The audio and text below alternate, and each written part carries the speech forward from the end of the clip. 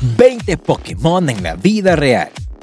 No necesitas de Pokémon Go para encontrar un Pokémon. Están en la vida real. ¡Atrápalos ya! Seeking. Seeking es uno de los Pokémon de agua más bellos de toda la primera generación. Es la evolución de Goldeen y se caracteriza por ese cuerno en la frente. ¿Sabes qué animal se le parece? A la subespecie de Goldfish Ryukin, que tiene lomo anaranjado y manchas negras. Idéntico, ¿no? Kabuto. Pokémon fósil de tipo roca y agua. Según la Pokédex, habita a kilómetros de profundidad. En la vida real se trata de los cangrejos herradura. Hasta tiene su mismo caparazón y su misma forma de moverse. Livani.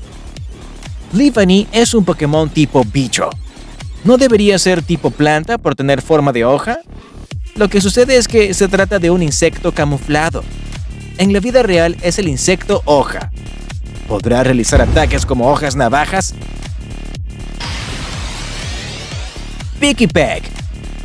Este Pokémon volador puede golpear 16 veces por segundo con su pico para hacer hoyos en los árboles, en donde almacena comida y puede escupir semillas con gran fuerza, que les puede incrustar en los troncos. ¿Ya adivinaste qué animal es? ¡Exacto! El picamaderos norteamericano, que es una de las tantas especies de pájaro carpintero. Lo puedes encontrar en los bosques de Canadá y Estados Unidos. Charmander. Charmander no necesita mayor presentación. Hasta los boomers lo conocen. En redes circulan varias recreaciones en 3D a las que solo falta ponerle una llama en la cola, porque son extremadamente idénticos. Si buscamos en el reino animal, Charmander es el tritón del este. Aunque otros dicen que se trata de la salamandra roja. ¿Cuál de los dos crees que se parece más? Déjenmelo saber en los comentarios. Shellos del Este Shellos es un Pokémon tipo agua de la cuarta generación. Hay dos variedades, el Shellos del Oeste y el Shellos del Este, que tiene color celeste. Pensarás que una criatura así tiene que ser cosa de la imaginación, pero existe. Es real. Se trata de Chromodoris lochi, una especie de babosa de mar con unos pliegues y antenas similares a Shellos. ¿No es sorprendente? Bulbasaur. Claro, claro, Bulbasaur es un sapo, pero ¿qué es sapo? No creerás si te muestro una que hasta tiene sus mismas manchas. Estoy hablando del sapo verde. Vamos, sapo verde. ¡Plático sepa! Oh, sorry, me emocioné. Stunfisk. Este Pokémon vive en los humedales costeros y ha logrado desarrollar electricidad, que cuando la libera, su rostro adopta una sonrisa. ¿Dónde lo puedes encontrar en la vida real? En las playas, por supuesto. Y es que es un lenguado. Míralo, también parece que sonríe. Pinsir. Este Pokémon tipo bicho presume de sus pinzas, Mientras más grandes las tienen, más parejas atraen. Estas son tan fuertes que pueden cortar árboles. En la vida real también lo puedes encontrar, aunque a una escala un poco reducida. Se trata del escarabajo ciervo volante europeo. Mira que hasta tiene las protuberancias en las pinzas. Si me cruzo con este insecto, correría como Misty. Metapod. Sí, sí, ya sabemos que Metapod es un capullo. Pero, ¿qué capullo? Se trata del capullo del insecto llamado Blanquita de la Col, que se parece bastante a Butterfree. Los machos de esta especie tienen hasta ese contorno negro. Volviendo a Metapod, o mejor dicho al capullo, este es verde y un tanto curvo. ¡Vamos, Metapod! ¡Defensa de hierro! Ahora ya sabemos dónde encontrar a uno de los Pokémon más icónicos. Bragalge. Este Pokémon de la sexta generación es de tipo veneno y dragón. Su veneno es capaz de perforar el metal y hundir cualquier barco que navegue por su territorio. En la vida real lo puedes encontrar en los mares del sur de Australia. Se trata del dragón de mar foliado. También tiene partes moradas como el Pokémon. Clowncher. Este Pokémon de tipo agua puede regenerar sus pinzas. Una de ellas tiene un gran tamaño y le sirve para sujetar a sus presas, lanzar chorros de agua e incluso destruir rocas. En la vida real se trata del cangrejo de Río Azul y habita en Florida. Dewble.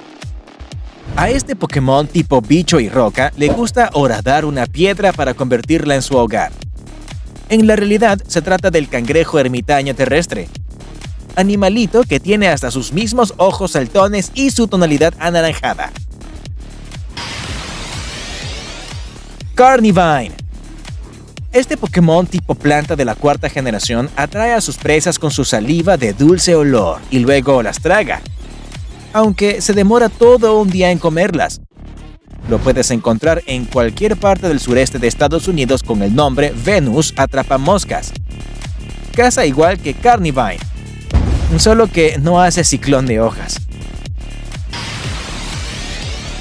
Scizor. Este Pokémon tipo bicho presenta unas pinzas que pesan un tercio de su peso corporal y en las que lleva pintados unos ojos. Si quieres verlo, tienes que buscar a la Mantis orquídea, algunos de cuyos ejemplares, especialmente los más jóvenes, tienen un color rojo y negro, es decir, son idénticos a Scizor. Poliwag. Llegó el turno de uno de los Pokémon más conocidos por ser de la primera generación. Es más ágil en el agua que en la tierra, y la espiral del centro no es más que sus vísceras. En la vida real, Poliwag está haciendo referencia a renacuajos transparentes de Costa Rica en los que sus vísceras forman una espiral. ¿Quién diría que existía de verdad? Dialga. Es turno de un Pokémon legendario, tan antiguo que se dice que el tiempo comenzó a avanzar cuando nació. Es de tipo acero y dragón y fue central en la película Pokémon, el surgimiento de Darkrai. ¿De qué animal se trata en la realidad? El tipo de Pokémon nos da una pista. Se trata del dragón azul. Un extraño molusco color azul que habita en las aguas de Europa, Australia y Mozambique. Luftdisk. Cuando este Pokémon de agua se enamora de otro Luftdisk, estos se toman de la boca, lo que les permite nadar con más velocidad y nunca más vuelven a distanciarse. En la realidad, este Pokémon no es una escama completa, sino un pez entero. Se trata del Gurami besador, peces conocidos por juntar sus bocas. Curiosamente, los estudios dicen que no se trata de un acto de amor, sino de una competencia. Ursa Ring. Ursa Ring vive en los bosques donde se la pasa almacenando comida es un Pokémon tipo normal que posee un gran círculo blanco en el cuerpo. Uno de sus ataques es el lengüetazo, un movimiento tipo fantasma. En la realidad se trata del oso malayo, que posee una mancha a veces en forma de U y otra circular, tal como lo tiene Ursari.